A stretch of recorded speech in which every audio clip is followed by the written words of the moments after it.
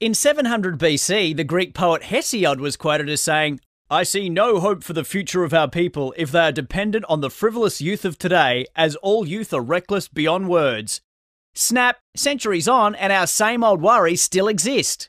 This time, it's surrounding the digital lives our kids lead, the consuming nature of technology, the cult of celebrity. But just like we did, kids are looking for a sense of belonging, validation, and trying to work out who they are and who they want to be. They're trying on personas and conforming while also trying to express their individuality. It's a confusing and anxious time. What makes today's youth culture unique is the digital world at their fingertips, allowing them to connect on a global scale with people going through the same biological, psychological, and social changes as themselves. It's a period rich in self expression, catalysed by the negotiation of social boundaries. It's a time of curiosity, exploration, and experimentation.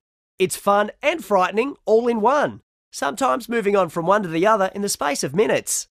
Just like the real world, there are those kids who take risks and push the envelope, and then there are those kids that would never test the boundaries, with most falling somewhere in between.